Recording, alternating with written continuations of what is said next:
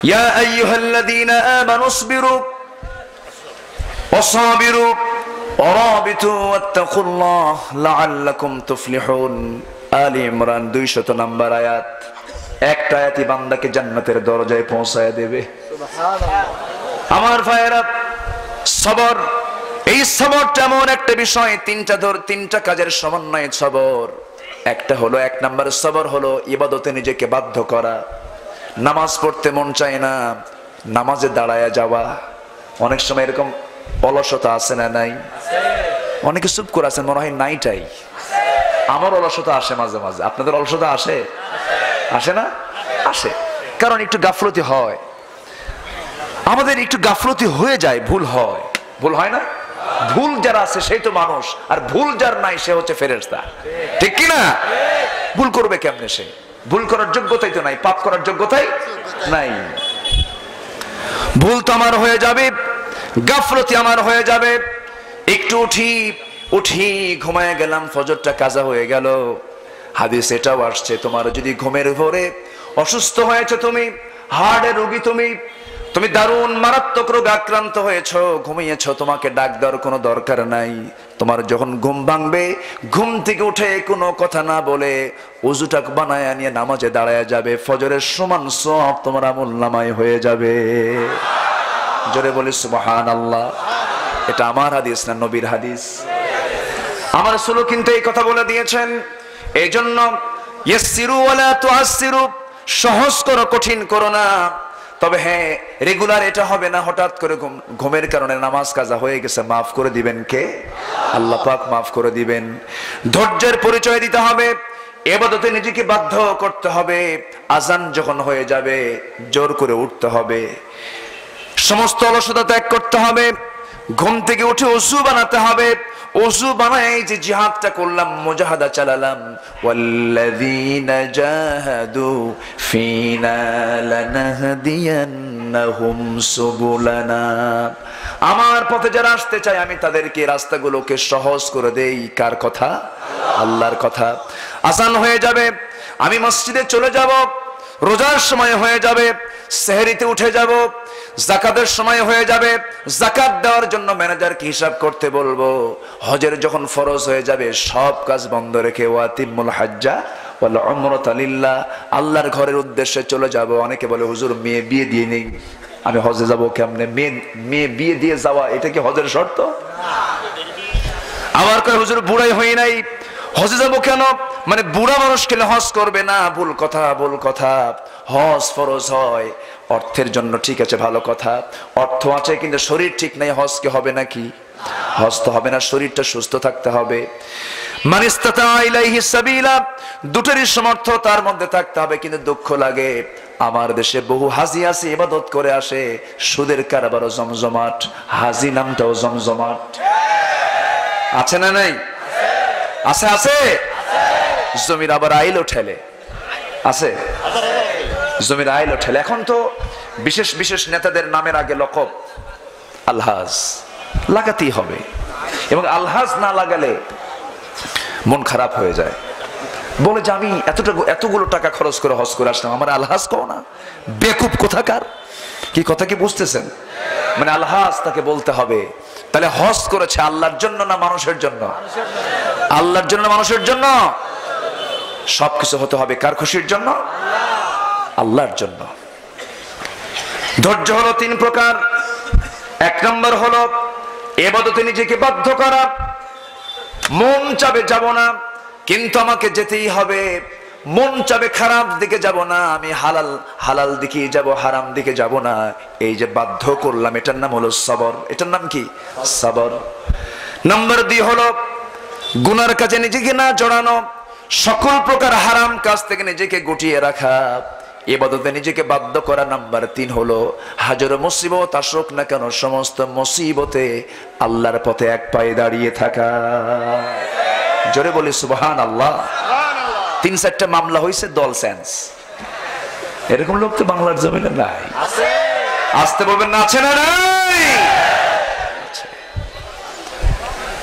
আমার ভাইয়েরা বেলাল রাদিয়াল্লাহুর কথা কে না জানি খাব্বাবের কথা কে না জানি? খোবাইবের কথা কে না জানে? ইতিহাস সবার কম বেশি জানা আছে, তবে বেলাল তো একজনই কিছু কথা বলতেই হয়। খাব্বাব তো একজনই কিছু কথা বলতে হয়। খোবাব তো একজনই কিছু কথা বলতে হয়। খোবাবের কথাটা বেশি করে মনে হলে পরে আমার মনে হয়, এই খোবাবের অবদান সবচাইতে বেশি, কারণ তিলে তিলে তাকে শহীদ করা হয়েছে। কে না জানেন তার কথা? আদির ছেলে খোবাইব ইবনা আদি আদির ছেলে খোবাইব। ধরে নেওয়া হলো, জেলখানায় তাকে পাকড়াও করা হলো, মারতে মারতে পিঠের চামড়া তুলে ফেলা হলো। সেও কোরাইশ, মারতেছে কোরাইশরা একই গোত্র। মেরে মেরে পিঠের চামড়া তুলে দিয়ে বলো হলো, খোবাবে রে, তোর বউ কান্দে, তোর সন্তানরা কান্দে, তোর আত্মীয় স্বজন কাঁদতেছে, তুই ইসলামটা ছাড়। এখন খোবাব বলে, দুনিয়ার সকল লোক কান্দুক, আমার আল্লাহ খুশি হয়ে যাক। জোরে বলি সুবহান আল্লাহ ভাইয়েরা, ধৈর্য ধরতে হবে নবীদের মতো। ফসবির কামা সাবার উলুল উলুল উলুল। ফসবির কামা ফসবির কামা সাবার উলুল আজমি মিনার রাসূল। নবীরা যেমন ধৈর্যের পরিচয় দিয়েছেন, তেমন করে আমাদেরকেও ধৈর্যের পরিচয় দিতে হবে। নবীদেরকে করাত দিয়ে চিরে ফেলার ইতিহাস আছে না নাই? আছে না নাই বলেন তো? তারা কি মাফ চেয়েছেন কারও কাছে? মাফ চান আমার দেশও মাফ মানুষের কাছে চায় না আল্লাহর কাছে মাফ চায়। এরকম লোক আছে না নাই? আছে না নাই? বলা হয়েছে প্রাণ ভিক্ষা চাও। তারা বলেছে প্রাণ ভিক্ষা পৃথিবীর কোন মানুষের কাছে চাবো না। প্রাণ ভিক্ষা চাবো আল্লাহর কাছে। এরকম লোক আছে না নাই? অতএব এই দেশে ইসলাম কায়েম হবে এটার সম্ভাবনাও আছে। জোরে বলি ইনশা আল্লাহ জোরে বলি ইনশা আল্লাহ আমার ভাইয়েরা অনেক কথা খোবায়াবের কথা বলছিলাম। একটু কান লাগান, মনোযোগ দিয়ে শুনুন। আমার মায়ের, আপনারাও মনোযোগ দিয়ে শোনার চেষ্টা করুন। খোবায়েবকে শেষ পর্যন্ত বলা হলো খোবায়েব তোমার বিরুদ্ধে রায় পাশ হয়েছে, তোমাকে হত্যা করা হবে। খোবায়েব বললেন, ঠিক আছে, করো। অন্তিম ইচ্ছা তোমার পূরণ আছে নাকি? তোমার শেষ ইচ্ছা পূরণ করতে চাও নাকি? কিছু চাও নাকি? আমরা তা পূরণ করে দেব। খোবায় বললেন, তোমরা যদি আমার শেষ ইচ্ছা, অন্তিম ইচ্ছা যদি পূরণ করতে চাও, এই মুহূর্তে অজুর পানি দিয়ে দাও। অজু বানাবো নামাজের দ্বারায়া ধৈর্যের মানসিকতা নিয়ে আল্লাহর কাছে চাবো। ধৈর্যের দরকার কি আছে? আছে, ধৈর্যের দরকার আছে। ধৈর্য ধরলেন, আল্লাহর কাছে চাইলেন প্রথম রাকাত খুব মনোযোগ দিলেন, আস্তে আস্তে পড়লেন, দ্বিতীয় রাকাতে মনে মনে ভাবলেন, লম্বা করব নামাজ। কোরআশে বলবে, নামাজটা লম্বা করছে মৃত্যুর ভয়ে। দ্বিতীয় রাকাতটা শর্ট করলেন, দ্বিতীয় রাকাত শর্ট করে ওই খোবাই দু হাত তুলে আসমানের দিকে হাত উঁচু করে চোখের পানি মুছতে মুছতে কাঁদতে কাঁদতে বলছেন, আল্লাহ, আজকে তিনটা মাস নবীর চেহারা দেখতে পাই না। নবীর চেহারার প্রতি দরদ থাকার দরকার আছে না নাই? সবাইকে আমরা দেখতে চাই। সবাইকে দেখতে চাই। এমন সুন্দর মানুষ পৃথিবীতে আছে? ছিল? আসবে? আসবে না। বাহ্যিকটাও সুন্দর, ভিতরটাও সুন্দর, চরিত্রটাও সুন্দর। এই সুন্দর কে করে দিয়েছেন?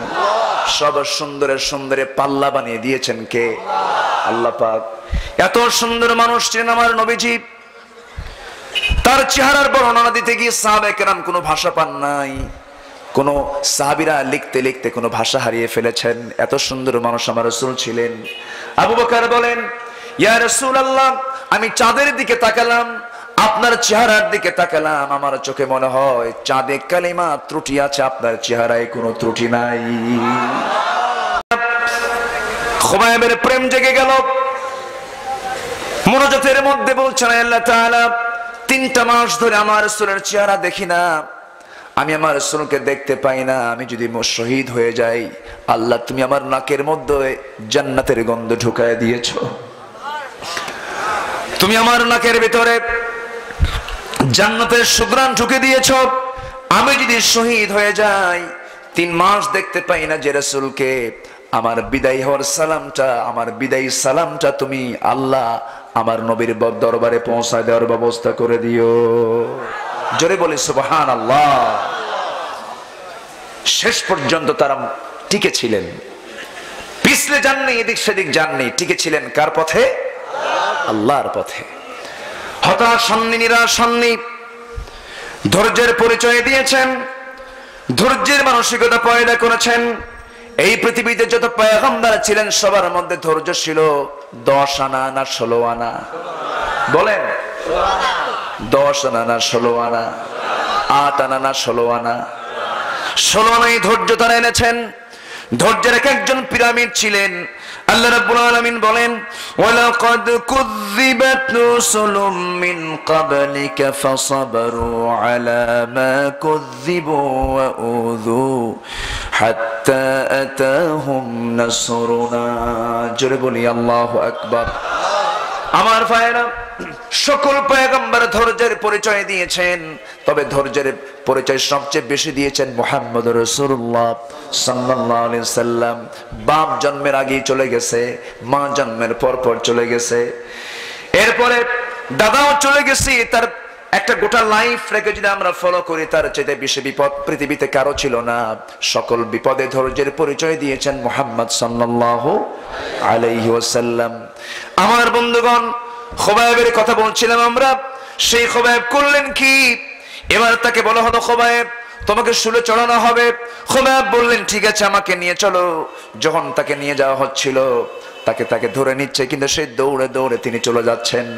বলা হচ্ছে খোবায়েব রে আমরা তোমাকে মৃত্যুর জন্য নিয়ে যাচ্ছি, মেরে ফেলার জন্য নিয়ে যাচ্ছি, তুমি দৌড় মেরে যাও কেন? সে সেই সাবি বলছে না, ও কাফেররা, ও কোরাইশরা, আমার মন চাচ্ছে, আমি আর দেরি করতে চাই না, আমার সামনে একটা বাধা আছে, সেই বাধা ডিঙ্গি গেলেই আমি আল্লাহর জান্নাতে প্রবেশ করে ফেলব। এটা হচ্ছে অশান্ত আত্মা না প্রশান্ত আত্মা? প্রশান্ত আত্মা। এই প্রশান্ত আত্মার সেই সাহাবি নফসে মতমাইন্না, সেই খোবায়েব বিন ইবনাদি রাদিয়াল্লাহু তাআলাকে শুনে চড়ানো হলো দুটো হাত বাঁধা হলো, দুইটা পা বাঁধা হলো। এরপরে বলা হলো খোবায়েব এখনও সময় আছে, তুমি কি বলবে বলো? খোবাব সঙ্গে সঙ্গে বলছেন, কি করবে করো? আমি দুনিয়া থেকে বিদায় হব, কিন্তু ইসলাম ছাড়তে পারব না। হাত কাটা হলো, পা কাটা হলো। এরপরে দুই পা, দুই হাত যখন কেটে ফেলা হলো, এরপরও তার মুখ থেকে বিন্দু পরিমাণ আল্লাহর নামটাকে মাইনাস করা যাচ্ছে না। বরঞ্চ দুই হাত কেটে ফেলার পরে দুই পা যখন কাটা হলো, খোবাব চিৎকার মেরে মেরে হাসতেছেন। তার চেহারায় হাসির হাসির ঝিলিক দেখা দিচ্ছে, বলা হলো, খোবাব রে, আমরা তোমাকে অঙ্গহানি করি, তুমি মুসকি মুসকি হাসো কেন? খোবাব বলছেন, তোমরা আমাকে মারতেছো, আল্লাহ আমাকে জান্নাতের হুরগুলো দেখায় দিতেছেন। একটু আসতে বলি সুবহান আল্লাহ একটু জোরে বলি সুবহান আল্লাহ রাত মনে হয় বেশি হয়ে যাচ্ছে। একটু বসুন, একটু ধৈর্য ধরুন, একটু সবর ধরুন। খোবাইব রাদি আল্লাহ শেষ পর্যন্ত টিকে থাকলেন। ধৈর্য আছে না নাই? টিকে থাকলেন। ধৈর্যের মানসিকতা তিনি দিয়ে দিলেন সম্পূর্ণ রূপে ধৈর্যের মানসিকভাবে প্রস্তুতি নিয়ে নিলেন, শহীদ হয়ে গেলেন আমার নবজি মদিনার মসজিদে বসা। মদিনার মসজিদে বসে সাহাবে কেরামকে নিয়ে দশ দিচ্ছিলেন, হঠাৎ করে দশ বন্ধ করে আমার নবজি খাড়া হয়ে দাঁড়া, তিনি খাড়া হয়ে গেলেন, দাঁড়ায় গেলেন। দাঁড়ায় গিয়া হাতটা উঁচু করে বলছেন, সালামুন আলাইকা ইয়া খুবাইব, সালামুন আলাইকা ইয়া খুবাইব। হে খোবায়েব, তোমাকে সালাম। হে খোবায়েব, তোমাকে সালাম। ওমরে ফারুক রাদিয়াল্লাহু বলছেন, ইয়া রাসূলুল্লাহ, আপনি খোবায়েবকে সালাম দিচ্ছেন কোন? আমাদের খোবায়েবের কি হয়েছে? আমার রাসূল বলেন, ও সাহাবীরা, আমার খোবায়েব জান্নাতের পাখি হয়ে জান্নাতের মধ্যে উড়ে বেড়াতেছে। আমার ভাইয়েরা, ধৈর্য ছাড়া জান্নাত জুটবে না। ধৈর্য ছাড়া আল্লাহর সন্তুষ্টি জুটবে না সেই জন্য আমি আপনাদেরকে বারবার বলছি, আল্লাহর কথা নামাজ আগে না ধৈর্য আগে। তবে নামাজ পড়ার দরকার নাই। নামাজ পড়ার দরকার আছে না নাই? নামাজ কিন্তু পড়তে হবে। নামাজ সবাই পড়ি? হ্যাঁ? সবাই কি নামাজ পড়ি? বছরে একবার? দুইবার? এক মাস? সাত দিনে একবার? দিনে কয়বার? আজ তো দিনে কয়বার? তোর আসল মুসল্লি কয় অক্ত? আর নকল মুসল্লি বাকি সব? বাকি সব কি কি কি? নকল মুসল্লি। আমার ভাইয়েরা, শুক্রবার জন্য শুধু নামাজ নয়, ঈদের দিনের জন্য শুধু নামাজ নয়, আবার কিছু কিছু মুসল্লি আছে, সারা বছর নামাজ পড়ে না, নেতা বললে জানাজার প্রথম কাতারে দায়া, যায়া ক্যামেরার সামনে গিয়ে টিভি ক্যামেরার সামনে গিয়ে চেয়ার একটা পোস্ট মারে আসে না নাই বলেন তো? চেহারা দেখায়, আমি এসেছি আমি এসেছি। সে কি আসলে মুসল্লি বলেন তো? সে কি আসলে মুসল্লি? মুসল্লি। সেই মুসল্লিকে আল্লাহ পাক ওয়াইল বলেছেন ফাওয়াইলুল্লিল মুসল্লি। নেতা মরে গেছে, জানাজায় হাজির হয়ে গেছে, নেতা যখন চলে গেছে জানাজায় হাজির হয়ে সামনে দাঁড়ায় আছে আল্লাহ রাব্বুল আলামিন। ওই নেতার ব্যাপারে বলছেন, ফাওয়াইলুল লিল মুসাল্লিন আল্লাযীনা হুম আন সালাতিহিম সাহুন। আল্লাযীনা হুম ইউরাউনা ওয়া ইয়ামনাউনাল মাউন। ওই সমস্ত মুসল্লির জন্য ওয়াইল ধ্বংস যে সমস্ত মুসল্লিরা অবহেলা করে নামাজ পড়ে, আর লোক দেখানো নামাজ পড়ে, আছে না নাই? ফজর নামাজ কয় রাকাত? সময় লাগবে দুই মিনিট। নাকি? দুই মিনিটের নামাজ শেষ, এমন আছে না নাই? কম না বেশি? বেশি। দুই মিনিটের নামাজ শেষ। এত দ্রুত পড়ে, শয়তান কয়, তোর নামাজ আমিও বুঝলাম না। কি কথা কি বোঝা গেল? এরকম, এখানে ধৈর্যের দরকার আছে না নাই? আপনাদের দোয়া আল্লাহ পাক আমাকে এবার খানায় কাবার মেহমান বানিয়েছিলেন। আমি গিয়েছিলাম চতুর্থবারের মতো। এবার আমার মা ছিলেন, আমার বাবা ছিলেন এবং আমার স্ত্রী ছিলেন। মানে গোটা ফ্যামিলি পরিবার, আমরা চারজন একসঙ্গে গিয়েছিলাম। তো আমি মদিনায় ছিলাম সাত দিন। না, আট দিন ছিলাম। এবার মক্কার সফরে, হজের সফরে আমি একটি বিশেষ, একটি উপহার আল্লাহ পাক আমাকে জুটিয়ে দিয়েছেন। কাবা শরীফের যে গিলাফ আছে না গিলাফ? যে কালো কাপড় দিয়ে কাবাকে প্রত্যেকবার, এক বছরে একবার সাজানো হয়, সুসজ্জিত করা হয়। তো সেই কাবার গিলাফের একটা অংশ, কিসওয়াতুল কাবাতুল মুশাররাফা, এটার একটা টুকরা আমাকে দেওয়া হয়েছে। আমি পেয়েছি। কেউ তো আলহামদুলিল্লাহ কইলেন না। আচ্ছা মন খারাপ করেছেন মনে হয় আপনারা। আচ্ছা। পেয়েছি আমি এটা, তবে এটা দিয়ে আবার কিন্তু আমি ব্যবসা করব না। এরকম ব্যবসায়ী আবার আছে আবার এটা একটু সাউন্ড আপনার কপাল খুলে যাবে। না এরকম আছে না? এটা কিন্তু কোনো ব্যবসা, এটা কোনো মানে এটা স্পেশালি কোনো বিষয় নয়, কারণ আমরা কাবার তো ইবাদত করি না, কাবার মালিকের ইবাদত করি, ঠিক কি না ফালিয়াবুদু ফালিয়াবুদু রব্ব হাযাল বাইত, ফালিয়াবুদু হাযাল বাইত না, ফালিয়াবুদু রব্ব হাযাল বাইত। কিন্তু অনেক অজানা লোক আছে কাবার দেখা মাত্রই যায় কাবার সামনে যায় খালি ঘষে। আর কাবার কাছে গিয়ে সে হাত হাত দিয়ে ঘষে কাপড় ঘষে এই ঘষে আর কান্নাকাটি করে না। আমি কাবাকে শুধু কেমনে বানিয়েছি কিন্তু কাবা আমার কোনো ক্ষমতা নয় আমার আসল ক্ষমতা কে? আসল ক্ষমতা কে? আল্লাহ পাক। সম্মানিত ভাইয়েরা মদিনায় ছিলাম আট দিন সে আট দিনে আমি ফজর নামাজ প্রত্যেক দিন আমি মসজিদে হারামে গিয়ে আদায় করেছি, মসজিদে নবমীতে গিয়ে আদায় করেছি। তো এই আট দিন ফজরের নামাজ আমি পড়েছি। একদিন শেখ আব্দুর রহমান হুজাইফি ওনার বয়স নব্বই ক্রস করেছে, নব্বই পার হয়ে গেছে। যুবক মানুষ তো, তাই না? না বুড়ো মানুষ? নব্বই বছরের একজন বৃদ্ধ ইমাম, তিনি ফজরের একদিন নামাজ পড়ালেন। ফজর নামাজ, দুরাকাত নামাজ শেষ করতে সময় লেগেছে মাত্র উনত্রিশ মিনিট। কি কথা কি বোঝা গেল? তো উনত্রিশ মিনিট সময় যদি আমার আপনার ইমাম নেয়, কম। হ্যাঁ? হয়তো বা নামাজের মধ্যে একজন নামাজ ছেড়ে দিয়ে বলবে, হুজুর কাম টাম হবে না, আমার কাম আছে, আপনি থাকেন। ঠিক কিনা বলেন? অথবা কমিটির যদি সভাপতি ওই দিন ফজর নামাজে থাকে, ম্যাক্সিমাম সভাপতি তো ফজর নামাজ পড়ে না। ঠিক কিনা বলেন? আসতে বলবেন না, জোরে বলুন, ঠিক কিনা? মসজিদ কমিটির ম্যাক্সিমাম সভাপতি ফজর নামাজ নাই, জোহর নামাজ নাই সুৎখর সরবখর মদখর ছাড়া কেউ সভাপতি হয় না এখন। ঠিক কিনা? মাঠ দখল, বাজার দখল, সব দখল, মসজিদ দখল। নামাজ পড়া। দখল তো করলে মসজিদ, নামাজ পড়া দেখি। নামাজ পড়াতে গেলে শুরু হবে, শেষ হবে না। এক লোক মানে হাজি সাহেব গেছে হজ করতে। তো বিয়ে সাহেবের জন্য সে হজ থেকে ফেরার পথে সুন্দর সাদা জুব্বা আর হাজি রুমাল আনছে।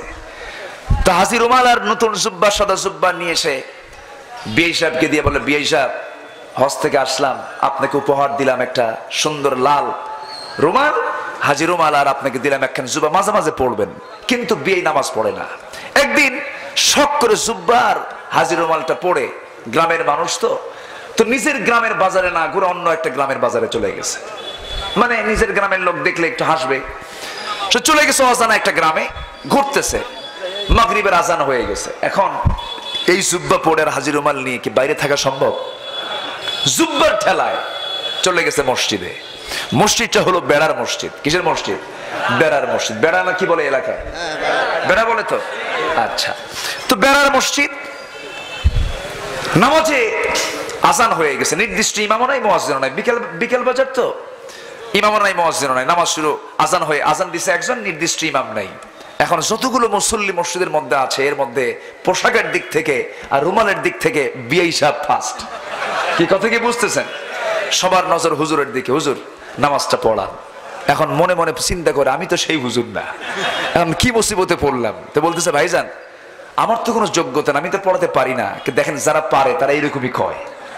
কি কথা কি বোঝা গেল? মানে যত সরে, তত কাছে টানে।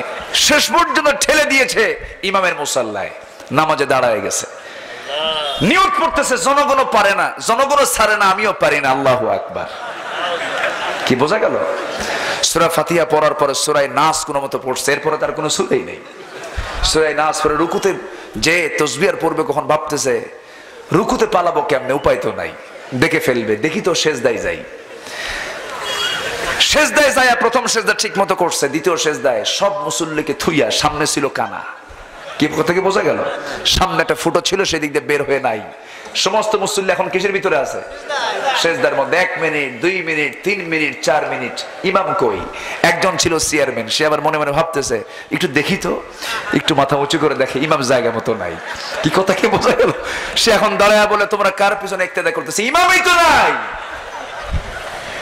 এমন একটি সময় আসবে।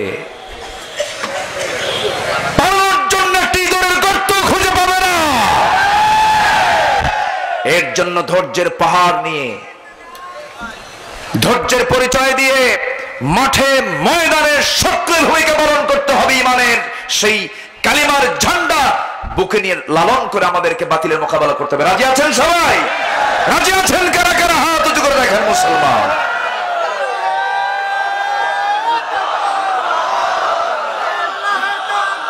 লিল্লাহে তাকবীর লিল্লাহে তাকবীর আল কোরআনের আলো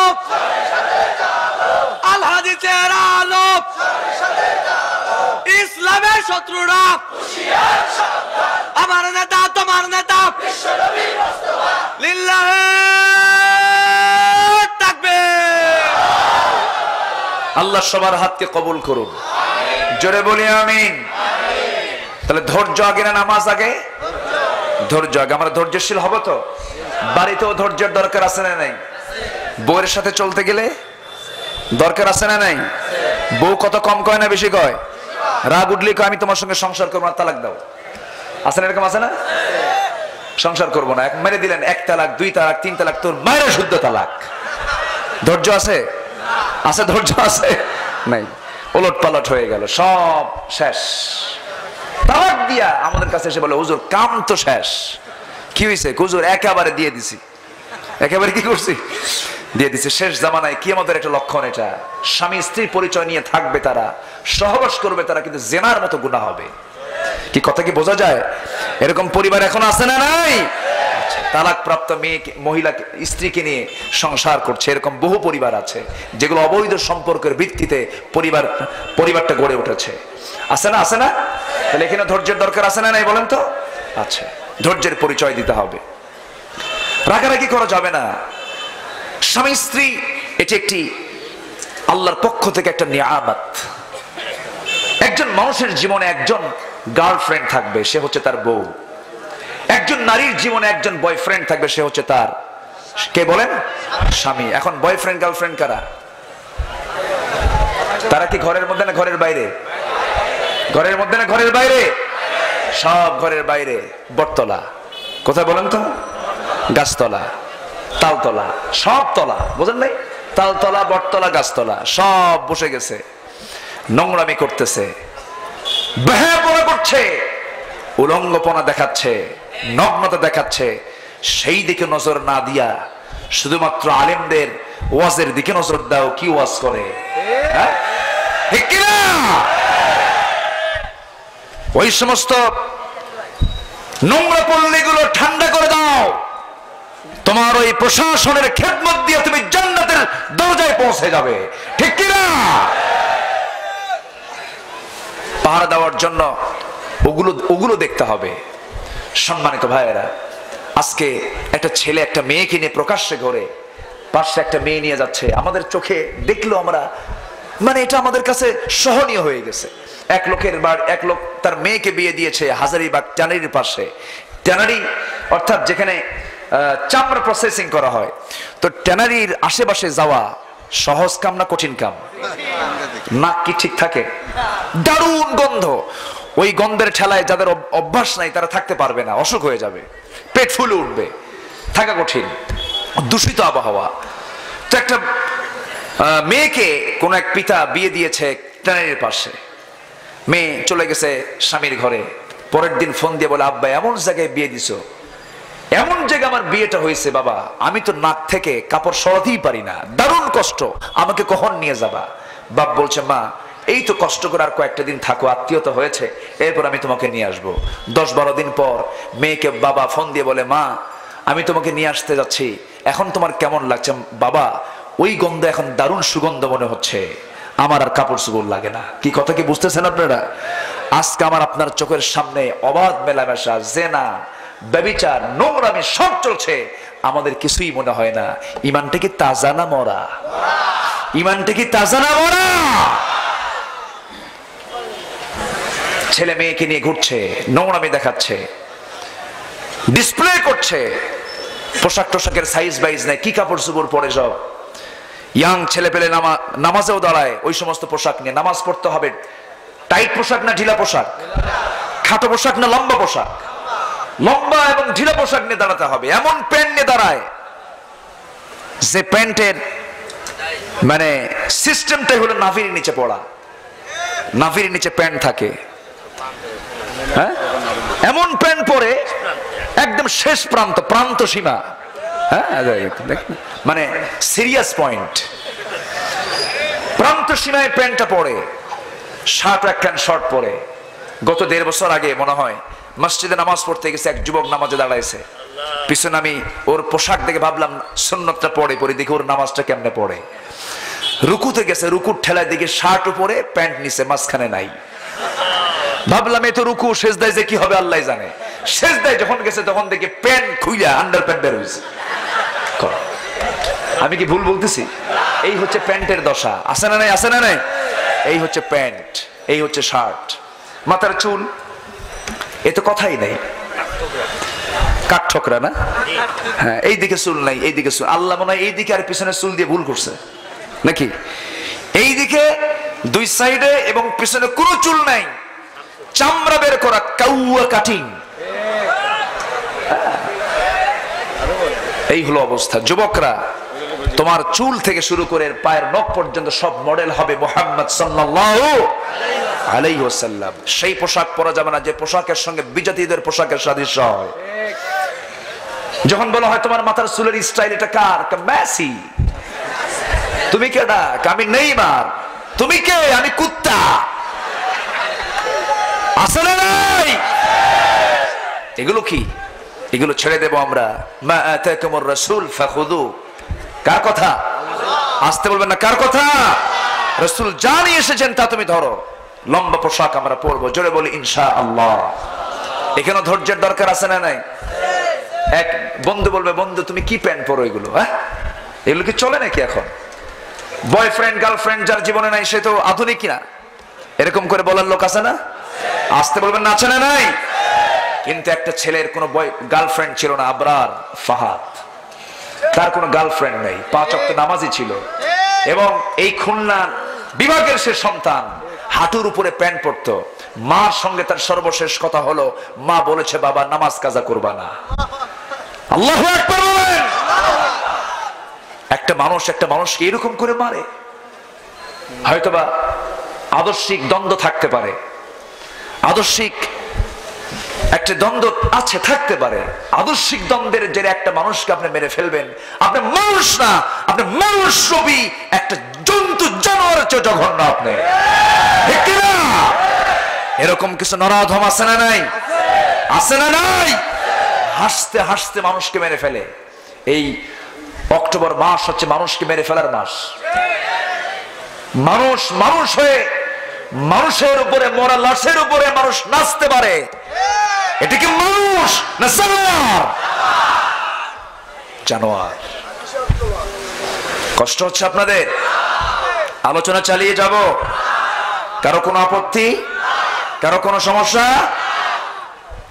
আমার দেশের প্রশাসন যিনি- যারা আছেন, আমি মনে করি তাদের ভিতরে মানসিকতা আসলেন ইসলামের মানসিকতা আছে হান্ড্রেড পার্সেন্ট, আলহামদুলিল্লাহ। জোরে বলি আলহামদুলিল্লাহ। কিন্তু অনেকে আছে জুলুমের শিকার, ঠিক কিনা? জুলুমের শিকার আছে না নাই? অনেক এসপি অনেক ওসি আমাদেরকে ফোন দেয়, হুজুর বলে, হুজুর দোয়া করবেন। আপনারা যে কাজগুলো চালিয়ে যাচ্ছেন ভালো, আলহামদুলিল্লাহ। তারা ধন্যবাদ পর্যন্ত দেন।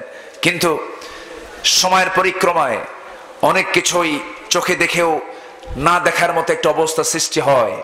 তবে আসবে দিন, জোরে বলি ইনশা আল্লাহ এখানেও ধৈর্যের দরকার আছে না নাই? আমরা ধৈর্য ধরবো, জোরে বলি ইনশা আল্লাহ বাজারে ধৈর্য আছে না নাই? ওজন যখন মাপতে যাব তখন কাউকে দিলে বেশি দেওয়ার নিয়ত মনে হয় না কম দেওয়ার নিয়ত মনে হয়? বেশিও দেওয়া যাবে না? কমও দেওয়া যাবে না। দিতে হবে কি? দিতে হবে কি? এখানে ধৈর্যের দরকার আছে না নাই? বিল ওয়ালা মিজান। ওজনটাকে সঠিক করো, ওজনটাকে ব্যাঠিক করো না। আমার ভাইয়েরা, আমার বাড়িতে পরিবারের মধ্যে ওজনটা সঠিক করতে হবে। পরিবারের সকল সন্তানকে সমান চোখে দেখতে হবে। যে ছেলেটা দেখে তাকে তিন বিঘে জমি লিখে দেওয়া হাজি আছে না নাই? আসতে বলেন কেন? যেই সমস্ত সন্তানগুলো মাহরুম হয়েছে, তাদের মনের কথা আমি আজকে বলে ফেললাম। হুজুর, ভালো করে এখন আব্বা এখানে আছে? কি কথা বোঝেন আমার আব্বা এখানে আছে। আব্বা যান আমার বড় ভাইকে তিন বিঘা জমি এক্সট্রা করে লিখে দিয়েছেন, আমাকে দেন নাই। এই অধিকার আপনাকে কে দিয়ে দিল? আপনার নামাজ কবুল হবে না। আপনার কোন ইবাদত আল্লাহর দরবারে মঞ্জুর হবে না। হজে যাবেন আপনি? হজে যাওয়ার আগ দিয়ে আপনার মেয়েকে, সবগুলো মেয়েকে ডাক দিয়ে বলেন, মা, হজে যাচ্ছে, আমার একটা মাত্র ছেলে, পঞ্চাশ বিঘে জমি, সব জমি আমার ছেলেকে লিখে দেব, তোমরা তোমরা তোমাদের স্বামীর ঘরে করে খাও। এরকম কিছু বাপ আছে না নাই? আছে। এই সমস্ত কাজগুলো করা যাবে না। এখানেও ধৈর্যের পরিচয় দিতে হবে, হুকুমটা মেনে চলতে হবে, কার? মনের ইচ্ছায় চলবো না, আল্লাহর ইচ্ছায় চলবো। মনের আইনে চলবো না, আল্লাহর আইনে চলবো। এখানেও ধৈর্যের পরিচয় দিতে হবে। স্ত্রীকে সমান চোখে দেখতে হবে। স্ত্রীকে ভালো চোখে দেখতে হবে। অনেক স্বামী আছেন, স্ত্রীকে মারেন, বিনা কারণে মারেন। কাজের মহিলার মতো মনে করেন এমন কিছু স্বামী আছে না নাই? দেখেন, আওয়াজ কমে গেছে এখন। মানে হুজুরে ওয়াজ করার দরকার নাই, পিটাবো। এরকম নাকি? বউকে পিটানোর শূন্যতে মক্কাদা এরকম কিছু পুরুষ আছে না নাই? সকালে থাপ্পড়, বিকেলে থাপ্পড়। আছে না? আচ্ছা এই সমস্ত বউরা মনে মনে কয়, এই হারামজাদা মরবে কোন দিন? ও মরুক। ও হালকা পাতলা দিতে হবে, কে কইল? ও হালকা পাতলা দিতে হবে না? ও সোজা থাকবে। কাম সারছে, মঞ্চ থেকেই বলতেছে, হালকা পাতলা হুজুর দেবই। এটা কেমন কথা আবার? আল্লাহ বলতেছেন আগে, ওয়াহজুরুহুন্না ফিল মাদাজিআই। আগে কি করো? ওদের বিছনাটাকে পৃথক করে দাও। ওয়াদরিবুহুন্না মৃদু প্রহার করো। এটা আল্লাপাক বলেছেন, তবে বিশ্বনবীর বাস্তবতার জীবনে রসুল কোন স্ত্রীকে মেরেছেন এমন কোন রেকর্ড? আস্তে রেকর্ড নাই, বউকে মারা যাবে না। চোখ দিয়ে শাসন করতে হবে, চোখের ইশারায় সব হয়ে যাবে, এমন ব্যক্তিত্ব গড়ে তুলতে হবে, কিন্তু আপনি নিজেই যদি লম্পট হন এমন স্বামী আছে না নাই? রাত তিনটার দিকে মদের বোতল খায়া বেতাল হয় মাতাল হয় দরজার সামনে এসে দাঁড়ায়। রাত তিনটার দিকে দরজার সামনে দাঁড়ায় দরজায় নক করে বউ দরজা খুলতে ভয় পায় না জানি কি যেন কথা, কি যেন আচরণ করে। ছেলে বড় হয়ে গেছে, মদ খাওয়া ছাড়ে না। এরকম কিছু সম্রাট আমার দেশে আছে না নাই? জি কে স্বামী আছে না নাই? রাত তিনটার দিকে দরজায় নক করল, দরজা খুলবে কেমনে? ভয় পায়। বড় ছেলেকে সঙ্গিনের সামনে এসে দাঁড়ায়। দরজা খুলে গেছে। দরজা খোলার সঙ্গে সঙ্গে মদ খাইলে পরে তাল না মাতাল। মাতাল হয়ে যায়। বইয়ের দিকে তাকায় বলে, আম্মা, আসসালাম আলাইকুম। কি কথা কি বোঝা হেড অফিস ঠিক না। এখন বউ মনে মনে কয়, আল্লাহ, একা আসলেও তো হতো, ছেলেটা নিয়ে আসলাম। ছেলের সামনে আমার আম্মা কয়। বলতেছে, হাই রে, আমার স্বামী, আমার পোড়া কপাল। ঘুম থেকে উঠি স্বামীর মুখে মায়ের ডাক তোমার কি একটু হুশ নাই? তোমার সামনে একটা যুবক ছেলে দাঁড়ানো। চোখ এরকম বড় করে লাল টকটকা চোখ বের করে ছেলেকে ছেলের দিকে তাকায় বলে, দুলা ভাই, আসসালাম আলাইকুম। কি কথা কি বুঝতেছেন? এই হচ্ছে অবস্থা। সংসারে সুখ থাকবে। যে সংসারে মদ আছে, সেই সংসারে সুখ আছে। যে সংসারে জুয়া আছে, সেই সংসারে সুখ আছে। নাই। ইসলামের সুখ আছে বলি আলহামদুলিল্লাহ। আমার ভাইয়ের স্বামী স্ত্রীর ভিতরে যদি মিল থেকে যায় আদুনিয়া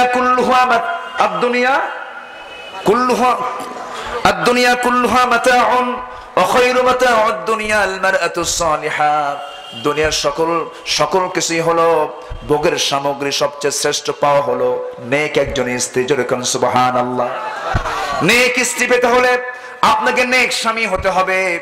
ইসলাম বলে দিচ্ছে, হুন্না লিবাসুল্লাকুম আনতুম লিবাসুল্লাহুন্না মিলেমিশে থাকতে হবে। মিলে যেতে হবে, মিশে যেতে হবে।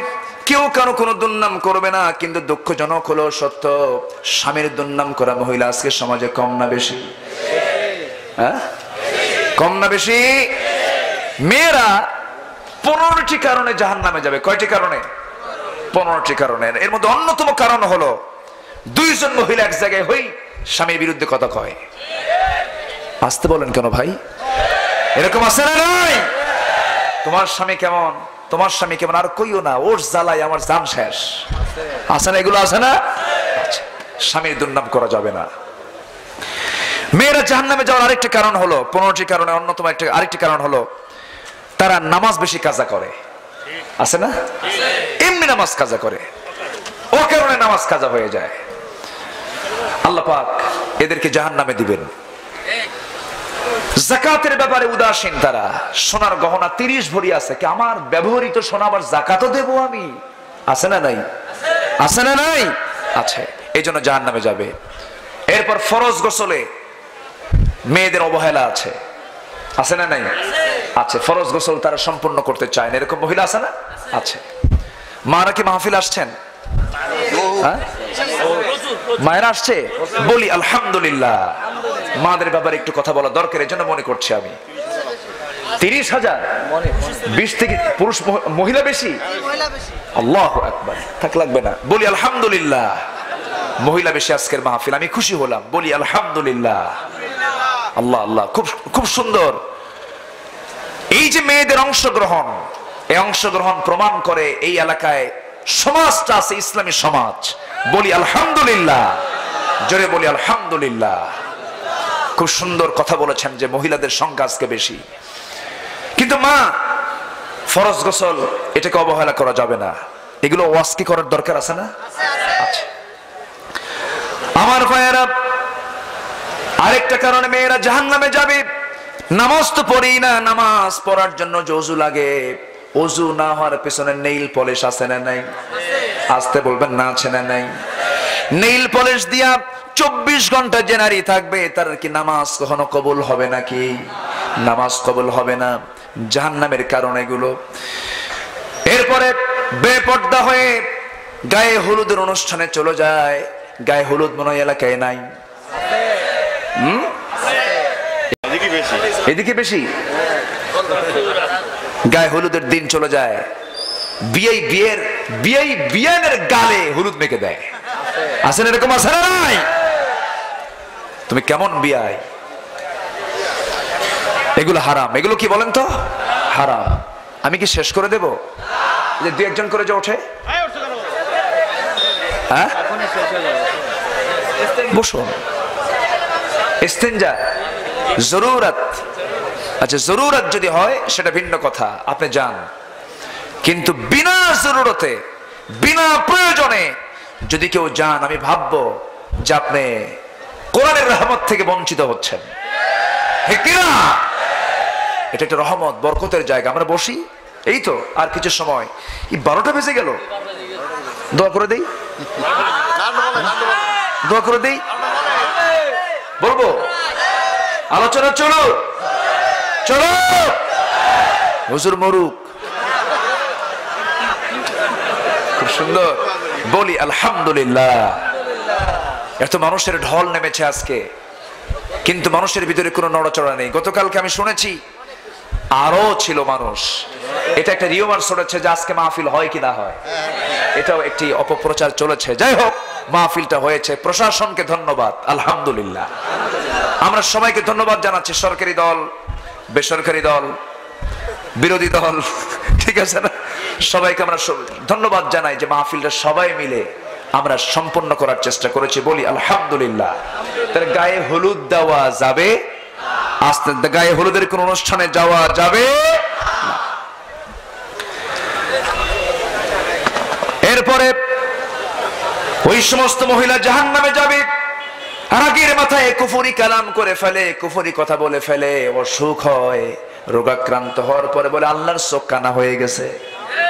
আল্লাহ মারে দেখে না। আল্লাহ, তুমি শুধু ওই বাড়ির দিকে নজর দাও, ছেলে দাও, মেয়ে দাও, আমার কোনো সন্তান দাও না।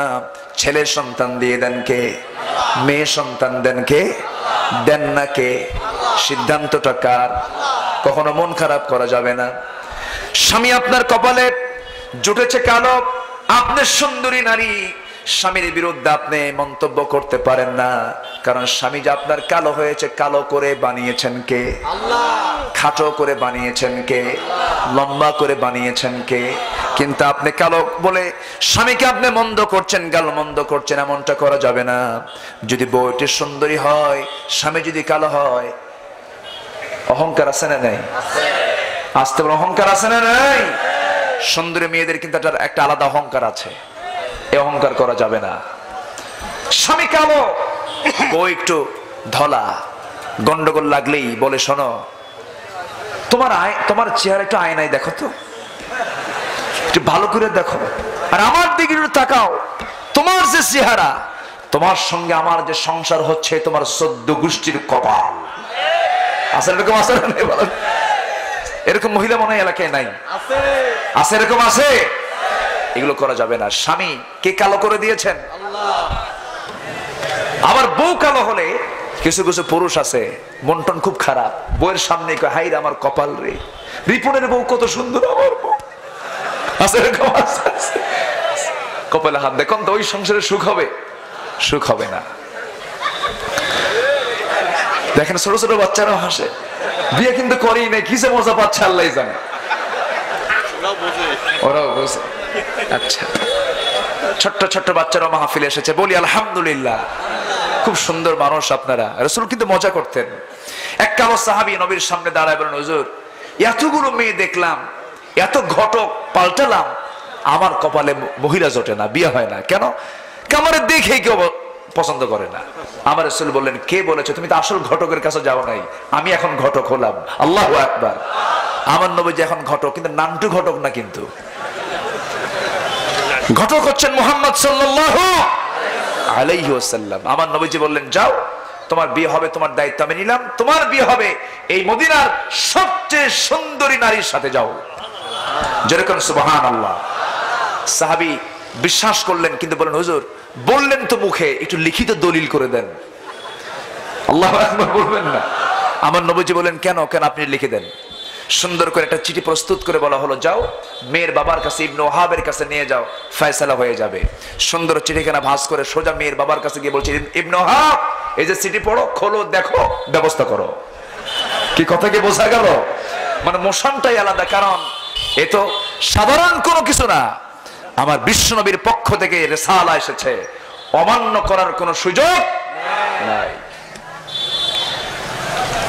সেই সাহাবীর কাছে যখন চিঠি দেওয়া হলো, চিঠিখানাকে চুম্বন করে চোখের পানি ফেলে দিয়ে মনে মনে চিন্তা করছে না হারে বিশ্ব নবীর মতো মানুষ আমার মেয়েকে নিয়েও চিন্তা করে, আমার পরিবারকে নিয়েও চিন্তা করে, আমার ফ্যামিলিকে নিয়ে চিন্তা করে। খুব খুশি হয়ে বলছে, ও কালো সাহাবি, আমি তো রাজি হয়ে গেলাম, কিন্তু সংসার তো করবে আমার আমার মেয়ে। আমার মেয়ে যদি তোমাকে দেখে পছন্দ করে, বিয়ে হবে কিন্তু আমার মেয়ের ইচ্ছার বাইরে কোনো কাজ করা যাবে না। কারণ সংসার গর্বে মহিলা, সংসার গর্বে আমার মেয়ে, আমার কিছু করার থাকবে না, পছন্দের বিষয় আছে। অলি কুফু ঠিক থাকতে হবে, ব্যালেন্স ঠিক থাকতে হবে। সব কিছু ঠিক রেখে যদি হয়ে যায়, সব হয়ে যাবে। এরপরে কি হলো? এই কথাগুলো বলে ভিতরে যাওয়া মাত্রই ভিতরের মেয়েটা দেওয়াল ঘেসে ঘেসে দাঁড়িয়ে থেকে সব কথাগুলো শুনে নিয়েছে। মেয়ের বাবা বলছেন, মা, বিয়ের প্রস্তাব নবীর পক্ষ থেকে আসে, ছেলে কিন্তু কালো, মেয়েটা কান্দে। তুমি কি মন খারাপ করেছ নাকি? না, বিয়ে দেবো না কালো ছেলের সাথে। কান্নার পরিমাণ বেড়ে গিয়ে শেষ পর্যন্ত বলতেছে, বাবা, বুঝতে ভুল করেছ। আমি আমার জীবনের চাইতে আমার রসুলকে বেশি ভালোবাসি। জোরে বলি সুবহান আল্লাহ নবীকে ভালোবাসার দরকার আছে না নাই? আসতে বলবেন না, নিজের জীবনের চাইতে কম না বেশি? বেশি। নিজের জীবনের চাইতে বেশি ভালোবাসতে হবে। মেয়েরাও কিন্তু কোন অংশে কম ছিলেন না। হুমাইসার কথা মনে হলো, উম্মে সুলাইমের কথা মনে হলো। হযরত আনাস রাদিয়াল্লাহু কে মদিনার মানুষ। সব এক জায়গায় হয়ে রসুলকে কেউ উট দিচ্ছে, কেউ ঘোড়া উপহার দিচ্ছে, বড় বড় সম্পদ দিচ্ছে, সোনা গহনা দিচ্ছে, সবকিছু দিয়ে যাচ্ছে। কিন্তু হুমাইসা উম্মে সুলাইম কিছুই দিতে পারেন না। কি দিবেন তার কিছু নাই। ছোট্ট আনাস, দশ বছর মাত্র বয়স। দশ বছরের আনাস বিন মালিককে কোলের মধ্যে করে নিয়ে নবীর সামনে দাঁড়িয়ে বলছেন, ইয়া রাসূলুল্লাহ, মদিনার কত মানুষ, সবাই কত কি দিল? আমি তো কিচ্ছু দিতে পারলাম না। আমার আনাসকে আপনার জন্য আমি দিয়ে দিলাম। জোরে বলি, সুবহানাল্লাহ। ওই মহিলা বললেন, ইয়ার, আমার স্বামী গো, কি বলে, আমার আব্বা গো, আপনি যে বলতেছেন, আমার জীবনের স্বামী একজন হবেন। যেই স্বামীটার ব্যাপারে যে যুবকটা পছন্দ আমার রসুল করেছেন, তিনি আমার স্বামী হবেন। যান, আমি রাজি হয়ে গেলাম। বাপ আস্তে করে বের হয়ে এবার বলছো কালো সাহাবি সাদ আলা সোয়াদ সুলাইমি, চিন্তা করো না। আমার মেয়েও রাজি হয়ে গেছে, আমিও রাজি হয়ে গেলাম। সাহাবির খুশি দেখে কে? আনন্দে আত্মহারা হয়ে দৌড়ায় দৌড়ায় নবীর দরবারে গিয়ে বলছেন, ইয়া রাসূলুল্লাহ সম্পূর্ণ হয়েছে, সব রাজি হয়ে গেছে, মেয়েও রাজি, মেয়ের বাপও রাজি। রসুল বিয়েতে করবা, টাকা পয়সার তো দরকার। মোহরানা দিতে হবে তোমার কাছে কি সেই পরিমাণ টাকা আছে নাকি? সাহাবী বলছেন, হুজুর, টাকার দায়িত্ব আমারে দিলে আমার কপালে বিয়ে জুটবে না। যেরকম আল্লাহ আকবার। যদি আমাকে বিয়ে, সিদ্ধান্ত আপনি যদি দিয়ে দিতে চান, সব যখন আপনি দায়িত্ব পালন করলেন, সব যখন করলেন, টাকাটা আপনি দিয়ে দেন। যেরকম সুবাহান আল্লাহ রসুল বলেন, বিয়ে করবা, তুমি টাকা দেবো আমি। ভালো কথা। নবীজি মুসকি একখানা হাসি মেরে দুজনকে ডাকলেন। নোমান এইদিকে আসব ওসমান এইদিকে আসব দুজনকে ডাক দিয়ে আস্তে করে বসায় বললেন, দাও আড়াইশো আড়াইশো, দুইশো দুইশো, চারশো দিরহাম দিয়ে দাও। চারশো দিরহাম দিয়া বলছেন সাদেরে তোর হাতে দিলাম দিরহাম, যা। বাজার করে আন, আগামীকালকে তোর বিয়ে হয়ে যাবে। আল্লাহ আকবার বলেন। বাজার করার জন্য চলে গেলেন। মদিনার একজন সাহাবি ওই সময় ওই কালো সাহাবির কানে সংবাদ দিচ্ছে সাদের তুমি কি জানো বিয়ের বাজার করতে আসছে, তুমি কি জানো, যুদ্ধের ডাক কিন্তু চলে এসেছে, জিহাদের ডাক কিন্তু আসছে। সাদের দিলের মধ্যে তখন ঢুকে গেল জিহাদের চিন্তা। তার নেশা হয়ে গেল জিহাদের দিকে, কারণ বিয়ের সুযোগ বারবার আসবে। কিন্তু জিহাদের ডাক তো আমার কানে নাও আসতে পারে, যুদ্ধ করব আমি। এবার তিনি করলেন কি? ওজাহিদু ফিল্লাহি হাক্কা জিহাদি। কি করলেন? সব কাজ বন্ধ করে, বিয়ের বাজার বন্ধ করে চারশো দিরহাম দিয়ে ঘোড়া কিনলেন, তরবারি কিনলেন, টাকা শেষ করলেন, যুদ্ধে সাপিয়ে পড়লেন, যুদ্ধ করতে করতে এক পর্যায়ে ধৈর্যের পরিচয় দিয়া সাত দুনিয়া থেকে বিদায় হয়ে গেলেন। ইয়া আইয়ুহাল্লাযীনা আমানু সাবিরু وصابروا ورابطوا واتقوا الله لعلكم تفلحون জোরে বলুন আল্লাহু আকবার ধৈর্য ধরো বাতিলদের মোকাবেলায় তুমি ঠিক থেকে যাও আল্লাহকে ভয় করো সফল হয়ে যাবে কার কথা আল্লাহর কথা। আমার বন্ধুগণ, সেই সাত করলেন কি? যুদ্ধ করে তিনি শাহাদত বরণ করলেন। যুদ্ধে ঝাঁপিয়ে পড়লেন। কাফেররা তাকে টুকরো টুকরো করে দুনিয়া থেকে বিদায় করে দিল। নবজির খানার সংবাদ আসলো, হুজুর, আপনার কি জানা আছে নাকি সাদ কিন্তু শহীদ হয়ে গেছে? আমার নবজির চেহারা অন্যরকম হয়ে গেল, থমকে দাঁড়িয়ে বলছেন, কে? কোন সাদ? হুজুর, যে সাদের বিয়ের কত গতকালকে ছিল? আমার নবীজি নিজের আবেগটাকে ধরে রাখতে পারলেন না দূর মেরে মেরে চলে গেলেন। তার দেহের কাছে, লাশের কাছে গিয়ে দাঁড়ায় দেখেন, তার হাত কাটা, পা কাটা, মস্তকটা ছিন্ন হয়ে পড়ে আছে। নবজি তার চেহারার দিকে তাকায়া একবার হাসেন, একবার মুসকি মুসকি, হাসেন, একবার কান্দেন। একবার কাঁদেন, একবার আসেন সাহাবাকেরা বলছেন, ইয়া রাসূলুল্লাহি, আপনি সাহাবীর চেহারার দিকে তাকায় আজকে যে আচরণটা করছেন, এমন আচরণ ইতিপূর্বে কখনো লক্ষিত হয় নাই, আমরা লক্ষ্য করি নাই। আমার নবজি বলছেন ও সাহাবীরা রে, আমি সাদের চেহারার দিকে তাকে একবার কান্দি, একবার হাসির কারণটা হলো। কান্নার কারণ হলো একটা, সেটা হলো, আমি কাঁদতেছি এই জন্য বিয়ের সব আয়োজন আমি রসুল করলাম। কিন্তু সে বিয়ে করতে পারল না। জাগতিক জীবনে, নারী জীবনের কোন সাদা সাধন করতে না পেরে দুনিয়া থেকে বিদায় হয়ে গেল এই জন্য কান্দি। আর হাসার কারণ হলো, আমি আমার নবতী চোখে দেখতে পেতেছি, ধৈর্যের পরিচয় দিয়ে কারণে আমার সাথ জান্নাতের পাখি জান্নাতের মধ্যে উড়ে বেড়াতেছে, আর হুররা তাকে টানাটানি করে বেশ দিকে নিয়ে যেতেছে। জোরে বলে সুবহান ধৈর্যের পুরস্কার হলো জান্নাত। ধৈর্যের পুরস্কার কি? জান্নাত। আমার মায়েরা আমার নবীজি করলেন কি? জানাজা শেষ হয়ে গেল। নবীজি বলেন জানাজা আমি পড়ায় দেব। জানাজা শেষ করলেন। এরপরে বলেন ও সাহাবিরা, আমার সাথ যে ঘোড়া কিনেছিল, যে তরবারি কিনেছিল, সেই ঘোড়ার তরবারি আমার সামনে নিয়ে আসো, নিয়ে আসা হলো। এরপরে রসুল বললেন, দেখো তো, সেই সুন্দরী নারীটা কোথায়? তাকে আমার সামনে হাজির করো। রসুল বললেন, ও মহিলা, আমার সাথ বাজার ঠিকই করেছি, দুনিয়ার বাজার করে নাই, বিয়ের বাজার করে নাই, জান্নাতের বাজার করেছে। তার পক্ষ থেকে এই ঘোড়া আর তরবারে আমি তোমাকে তার পক্ষ থেকে হাদিয়া স্বরূপ দিয়ে দিলাম জোরকন সুবাহান সেই সময়ের মেয়েরা কি ছিল আর আজকের মহিলারা কি? কষ্ট হচ্ছে আপনাদের? আলোচনা চালিয়ে যাব। আমার ভাইয়েরা, পনেরোটা কারণে মেয়েরা জাহান নামে যাবে, তার মধ্যে সাত আটটা কারণ বলা হয়েছে। এরপরে রাগের মাথায় কুফুরি কথা বললে মেয়েরা জাহান নামে যাবে। কুফুরি কথা বলার কারণে জাহান নামে যাওয়ার কারণ এর মধ্যে আছে না নাই বলেন তো? আছে। মেয়েরা কুফুরি কালাম আপনারা বলবেন না। আজে বাজে বেহুদে কোনো কথা বলবেন না। এরপরে পশ্চিমা কালচারকে যারা গ্রহণ করবে পশ্চিমা কালচার মানে মাথার চুল পশ্চিমারা বড় রাখে না ছোট রাখে? ছোট রাখে। সেই চুলগুলো কেটে কেটে বিভিন্ন ডিজাইন করে, কাপড় চোপড়ের কোনো সাইজ বাইজ নাই। এই সমস্ত কালচারকে গ্রহণ করা যাবে না। নবীর সন্ন্যত অবহেলা করার কারণে মেয়ে- মেয়েদেরকে যান নামে যেতে হবে। আমার ভাইয়েরা, আরেকটা কারণ সেটা হচ্ছে স্বামীর আয়ের উৎস নিয়ে মেয়েদের অবহেলা আছে না নাই? আছে না নাই? আছে। এটাও কিন্তু কুলু মিম্মা কুলু মিম্মা ফিল আরদি হালালান তাইয়্যিবা। এটা কি শুধু পুরুষদেরকে বলা হয়েছে? না সবাইকে ডেকে বলা হচ্ছে? তোমরা এই জমিনে যখন তোমরা খাবে কিছু, তখন খুঁজবে তো তোমরা হারাম না হালাল খাবার? হালাল খাবার। মেয়েরা এই ব্যাপারে উদাসীন হয়। এটাও একটা জাহান্নামে যাওয়ার কারণ। আরেকটা হচ্ছে কুধারণা করা। মেয়েদের মধ্যে কুধারণা কম না বেশি? কুধারণা বেশি। স্বামী হয়তো চলতে নিয়ে হয়তো একটা মহিলার সঙ্গে কথা বলেছে। প্রয়োজনীয় আলাপ করেছে। তোমার এত কথা কেন? কি আছে না বলেন তো? আছে। এরকম কিছু কিছু কুধারণা অনেক সময় এসে যায়। এগুলো ঠিক না। এটা অনুচিত। এই সমস্ত বদভ্যাসগুলো বর্জন করা দরকার। এরপর মেয়েদের ভিতরে ঝগড়ায় কিছু কিছু ইংলিশ কথা বের হয়। আছে নাকি? আসতে আছে নাকি? চোদ্দ গোষ্ঠী উদ্ধার করে। আছে না? আছে।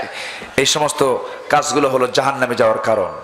এরপরে লোক দেখানো এবাদত এটা কিন্তু মেয়েদের মধ্যেও আছে। এইগুলো কাজগুলো আমার মা, আপনি বর্জন করার চেষ্টা করবেন। শেষের দিকে মাদের ব্যাপারে কিছু কথা বলার চেষ্টা করেছি। আল্লাহ পাক এলাকার মাদেরকে ফাতিমা, আসিয়া, খাদিজা খাউলা সুমাইয়াদের, সুমাইয়া আনহুন্না, এই সমস্ত আল্লাহর অত্যন্ত কাছের বান্দীদের সঙ্গে কবুল করে নিন। জোরে বলি আল্লাহুম্মা আমিন। যে যেখানে আছি, বসে পড়ি। আমরা সময় ক্ষেপণ করব না, যতটুকু হয়েছে বলি আলহামদুলিল্লাহ। জোরে বলি আলহামদুলিল্লাহ। জোরে বলি আলহামদুলিল্লাহ। সবাই বসুন। বসে পড়ুন। দোয়া ছাড়া। দোয়ার দরকার আছে না? আর দোয়া মুখুল ইবাদাত। দোয়া কিন্তু গুরুত্বপূর্ণ। দোয়া অনেকে দোয়ার ব্যাপারে অনেকে অনেক কথা বলেন, কিন্তু আল্লাহর কাছে চাইতে হবে। উদুনি আস্তাজিবু লাকুম। আমাকে ডাকো, আমি ডাকার সাড় দেব। এই কথাটা কার? আল্লাহ পাকের। যে যেখানে আছেন, আপনার রিকশা আপনার ভ্যান, আপনার সাইকেল, আপনার গাড়ি হেফাজত করবেন কে? আপনি তাড়াহুড়ো করবেন, আপনি বিপদে পড়তে পারেন। ঠান্ডা মাথায় মাহফিল শেষে আপনি চলে যাবেন। মনোজাত করব আমরা। যে যেখানে আছে বসে পড়ি। নামাজের সুরতে তাশাহুদের সুরতে আমরা সবাই বসে যাই। নামাজের মতো করে বসে যাই নামাজের মতো করে সবাই বসে যাই। সাইফুল্লাহ ভাই আপনি দোয়া করেন? জি। আপনি দোয়া করেন? হাবিব ভাই? আচ্ছা। আসুন। আপনি দোয়া করে দেন? সবাই বসুন।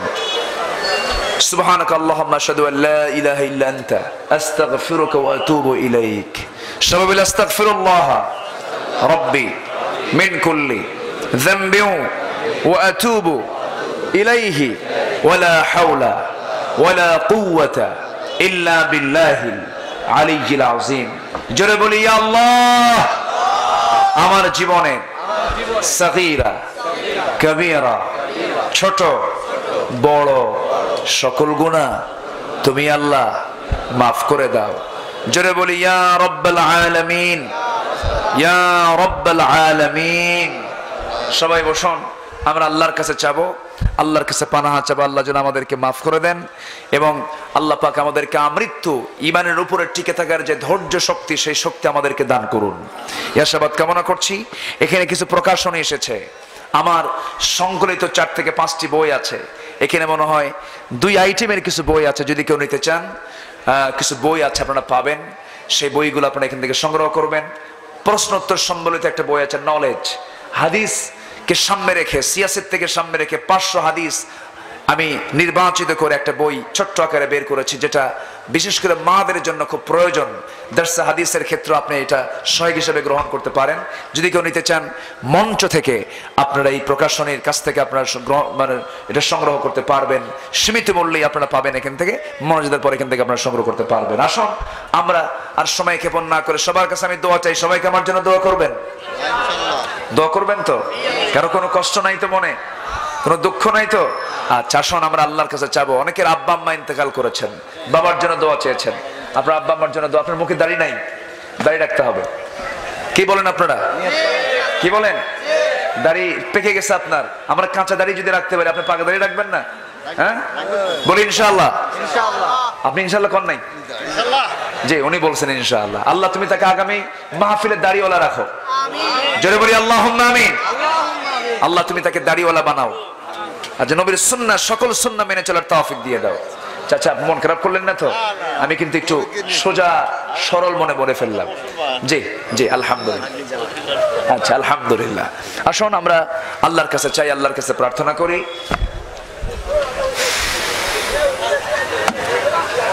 যে যেখানে আছেন বসে পড়ুন। আমরা সবাই এখন আল্লাহর কাছে চাবো আল্লাহর কাছে বলব। আল্লাহ আমিন। ربنا ظلمنا أنفسنا وإن لم تغفر لنا وترحمنا لنكونن من الخاسرين ربنا لا تزغ قلوبنا بعد إذ هديتنا وهب لنا من لدنك رحمة إنك أنت الوهاب গভীর রাত নিজম রাত জীবন রাত্রিতে। তোমার চাঁদের মতো হাজার হাজার মুসলমান নরনারীকে নিয়ে জিনাইদার এই মাটিতে কাঙ্গালি ফিকারের মতো দুটো হাত তুলেছি আল্লাহ। গুনার দিকে নজর দিও না। বান্দা মনে করে তাম জিন্দিগির সমস্ত গুণাগুলোকে মাফ করে দাও। জনম দক্ষিণী মাজারে চলে গেলেন। জিন্দগির গুণাগুলো মাফ করে দিও। কবর গুলোকে জান্নাতের বাগিচা বানায়া দাও। আল্লাহ তাআলা এমন ভাই হাত তুলেছেন, যিনি তার মাকে হারিয়ে ফেলেছেন, মার লাশটা নিজের পেটে বহন করে কবর পর্যন্ত নিয়ে চলে গেছেন। আল্লাহ তাআলা অনেকে আব্বার লাশটাকে নিজের পেটে বহন করে কবর পর্যন্ত শোয়া দিয়েছেন। সে আব্বা আম্মা যারা চলে গেল, জিন্দগির গুণাগুলো মাফ করো, কবরগুলোকে জান্নাতের টুকরা বানাইয়া দাও। রাত মাহফিল শেষে মা বাড়িতে চলে যাব অনেকে। বউ বাচ্চা দেখব, কিন্তু মার ঘরে দেখব মা আমার নাই। বাবা আমার নাই রে। এত বড় সম্পদ, এত বড় দৌলত যারা হারিয়েছেন তারাই বুঝতে পারেন বাবা ডাকের মধ্যে কত মশাদ আছে। আল্লাহ তাআলা সে আব্বা আম্মা যারা চলে গেলেন, জিন্দেগির গুনাহগুলো মাফ করে দিয়া কবর গুলোকে জান্নাতের টুকরা বানায়া দাও। সবাই চক্ষু বন্ধ করুন, হাত একটু উঁচু করে দিল থেকে সবাই বলুন রব্বির হামহুমা কামা রব্বায়ানি সবাই বলুন রব্বির হামহুমা কামা রব্বায়ানি সগীরা।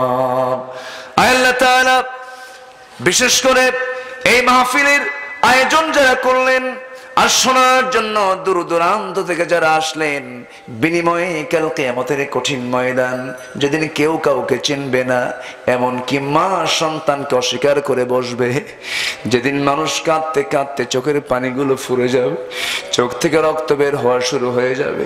সেই কঠিন মুসিবতের দিনে এই মাহফিল আমাদের সবার জন্য নাজাতের মাধ্যম বানায় দিও আল্লাহ। বরকাত নামটাই বরকত, তুমি তাকে বরকত দিয়ে ধন্য করে দাও। আয়াল্লাহ তালা মাহফিলটা আয়োজন করতে গিয়ে কত শ্রম দিতে হয়েছে, কত অর্থ খরচ করতে হয়েছে, কত কষ্ট স্বীকার করতে হয়েছে। আল্লাহ উত্তম জজায় খার তুমি তাদেরকে দিয়ে দাও। এই ঝিনাইদার প্রশাসনকে কবুল করে নাও।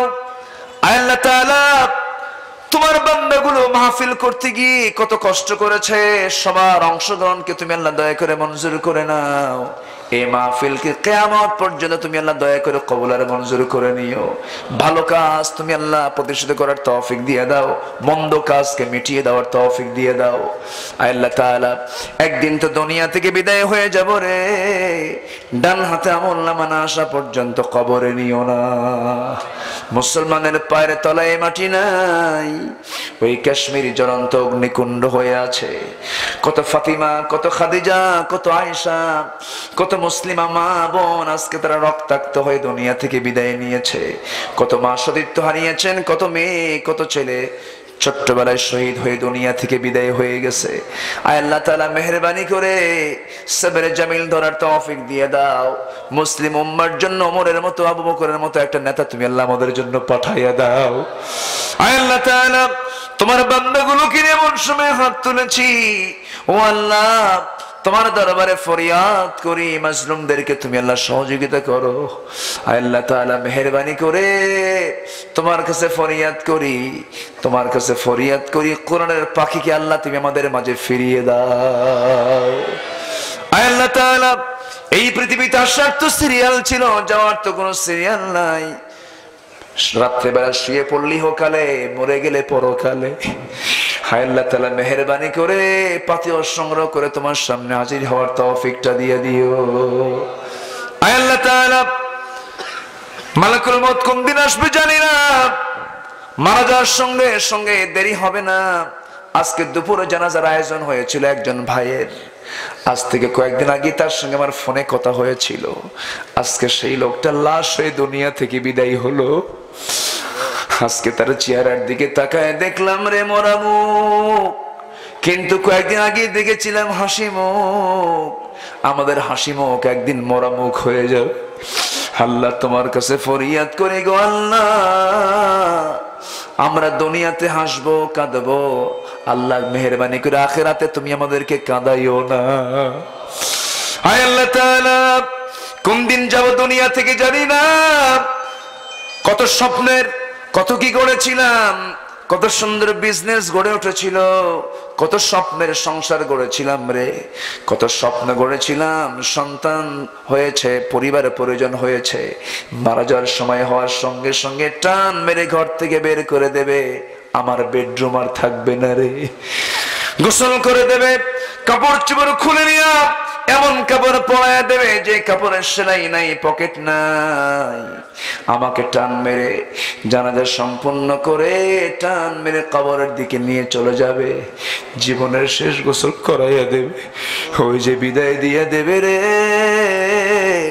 আর কোনোদিন কেউ খোঁজ নিতে যাবে না আল্লাহ তোমার কাছে ফরিয়াদ করি আমাদের কেমন ভাবে নিও না যেইভাবে নিলে আমরা আসামি হব আল্লাহ হাসিবিনি হিসাবাই ইয়াসির আল্লাহ হাসিবিনি حسابا يسيرا اللهم حاسبني حسابا يسيرا تقبل منا إنك أنت السميع العليم وتب علينا إنك أنت التواب الرحيم سبحان ربك رب العزة عما يصفون والسلام على المرسلين والحمد لله رب العالمين وجعل آخر كلمتنا عند الموت لا إله إلا الله محمد رسول الله